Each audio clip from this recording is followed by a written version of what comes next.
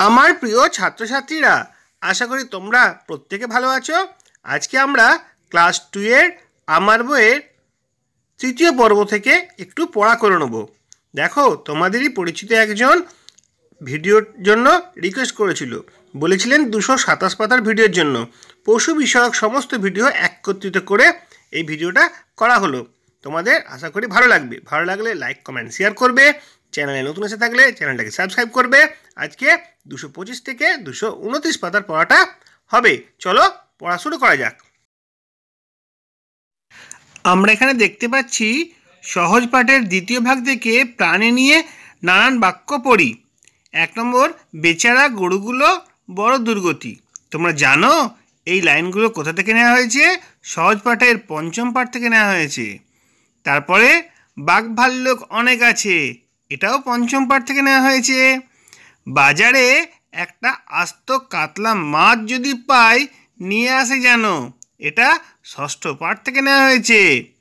তারপরে চার নম্বরটা কি আছে? আঁচলেতে খই নিয়ে তুই। যেই দাঁড়াবি দাঁড়ে, অমনি যত বনের হরিণ আসবে সাড়ে সাড়ে এটাও পঞ্চম পাঠ থেকে নেওয়া হয়েছে কিন্তু। তোমরা দেখে রাখবে, কাঠবিড়ালি লেজটি তুলে হাত থেকে ধান খাবে। এটাও তোমাদের সহজ পাঠে ষষ্ঠ পাঠ থেকে নেওয়া হয়েছে। তারপরে উল্লাস পাড়ার মাঠে শিয়াল ডাকছে, হুক্কা হুয়া। এটাও তোমাদের দশম পাঠ থেকে নেওয়া হয়েছে। এটা হয়ে গেল প্রথমেরটা। তারপরে দেখো, দু নম্বরটা কি আছে?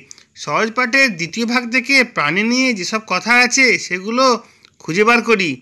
দেখো, সেগুলো খুঁজে বার করা হয়েছে। কি কি হবে বলে দেবো? প্রথমে হবে গর্ত সব ভরে গিয়ে ব্যাঙের বাসা হলো। কুকুরের বাচ্চাটা বড় চেঁচাচ্ছে, ঘুমোতে দিচ্ছে না।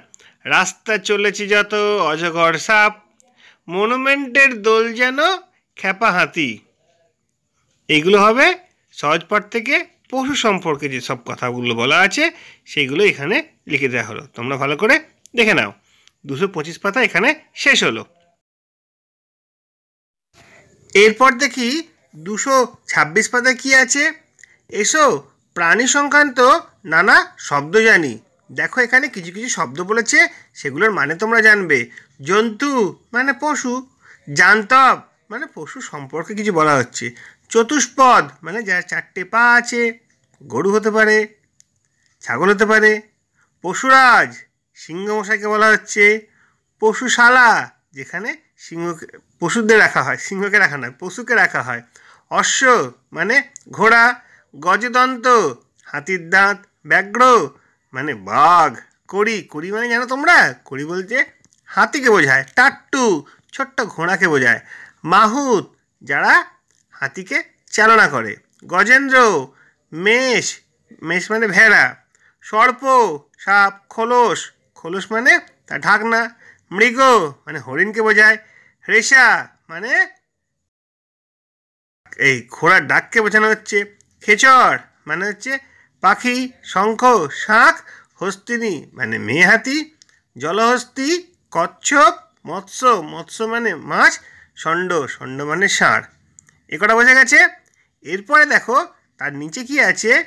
নিচে, নিচের শব্দগুলি ব্যঞ্জন বর্ণ খুঁজে দেখি আর তা ব্যবহার করে নতুন শব্দ করি। দেখো এখানে, বলে দেওয়া হলো। চতুষ্পদ, ব্যঞ্জন বর্ণ কোনটা? দন্ত শয়ে পয়ে কী হবে? গোষ্পদ। তারপরে আছে কি? শ্বাসপদ। কি হবে? বিশ্বাস। তালিব শয়ে আকার রয়েছে। জান্তব, দন্ত নয় দয় রয়েছে। হবে অনন্ত ব্যগ্র হবে শীঘ্র। টাট্টু। হবে লাট্টু। গজেন্দ্র, দেবেন্দ্র। অশ্ব। বিশ্ব ষণ্ড ভণ্ড দুম্বা। তোমরা মুম্বাই বলতে পারো, অন্য কিছু শব্দ হতে পারে। তারপরে কৃষ্ণসার, বিষ্ণু বলতে পারো। এইভাবে যুক্ত ব্যঞ্জনবর্ণ খুঁজে খুঁজে তোমাদের নতুন করে একটা শব্দ শিখিয়ে দেওয়া হলো। এরপরে দেখো কি আছে। এরপরে একটা মিল করতে বলা রয়েছে। বাম দিক আর ডান দিক। মৃগ হবে কস্তুরী, হস্তি হবে সুর সর্প, খোলস আর অশ্ব হবে কেশর। যাদের সঙ্গে যাদের মিল হয়, সেটা করে দেওয়া হলো। এখানে আমাদের দুশো ছাব্বিশ পাতা শেষ হচ্ছে। এরপর আমরা চলে আসব দুশো সাতাশ পাতায়। দেখো, এখানে ঝুড়ি থেকে শব্দ নিয়ে শূন্যস্থান পূরণ করি। একটি চতুষ্পদ প্রাণী হলো জেব্রা।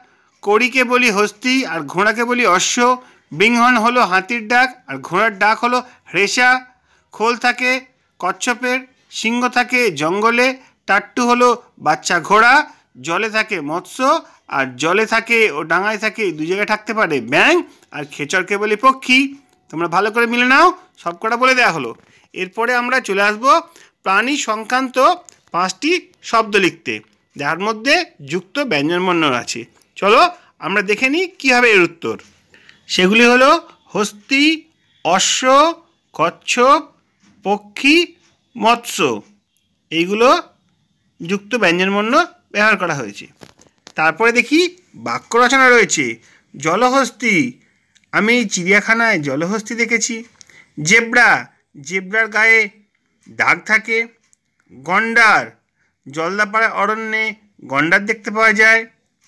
ব্যাং ব্যাং একটি উভচর প্রাণী। এইভাবে তোমরা বাক্য রচনাগুলো করতে পারো। দেখো, সব কটা করে দেওয়া হলো, ভালো করে মিলিয়ে নাও। এইভাবে তোমাদের দুশো সাতাশ পাতা শেষ হচ্ছে। এরপর দেখি দুশো আঠাশ পাতা কী আছে? এখানে একটা ত্রিভুজের মতো দিয়েছে। আমি কে জানতে চেয়েছে। বলো দেখিনি কী হবে?